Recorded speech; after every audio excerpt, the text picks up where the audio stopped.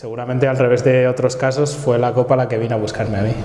Además lo recuerdo porque eh, surgió de una, cosa, de una forma muy casual que yo estaba en las oficinas del CAI, me estaba comprando el, viaje para ir a la, Copa, a la Copa del Rey en Vitoria y a la salida me llamaron para, para participar en la Copa Colegial a través de, de gente de Madrid. Yo llevaba mucho tiempo dedicándome al baloncesto femenino en solo básquet y de ahí tenía amistad con, con Luis Javier Benito de Locos por el Baloncesto Femenino y fue él que también está, está en Copa Colegial, el que, el que les dio mi contacto. Era un tipo que sabía escribir y tenía cámara de fotos, así que, que era ideal para, para la Copa Colegial.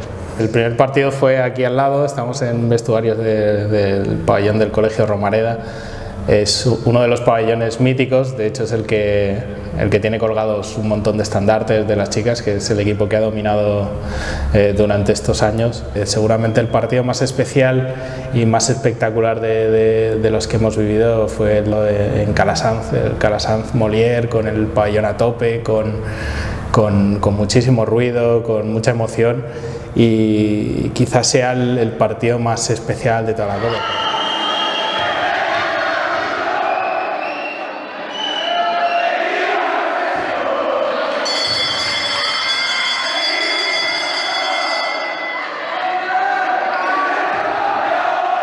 Mi paso a la fotografía tiene mucho que ver con la Copa Colegial. O sea, yo era un periodista que tenía una cámara de fotos y ahora soy un fotógrafo que escribe crónicas y hace otro tipo de cosas.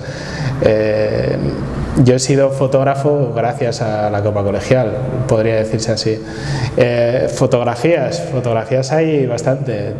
podrías preguntarle a, muchos eh, jugadores de Copa que creo que tienen fotos mías en sus perfiles de Twitter, de, de Facebook y tal.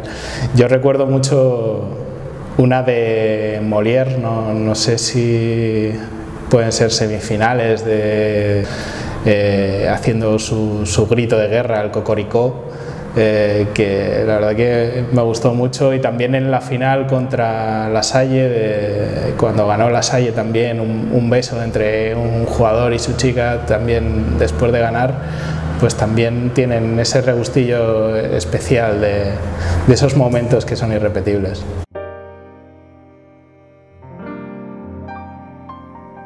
Mientras exista la pasión por el baloncesto, el, crecimiento de la Copa puede seguir siendo como ha sido hasta ahora.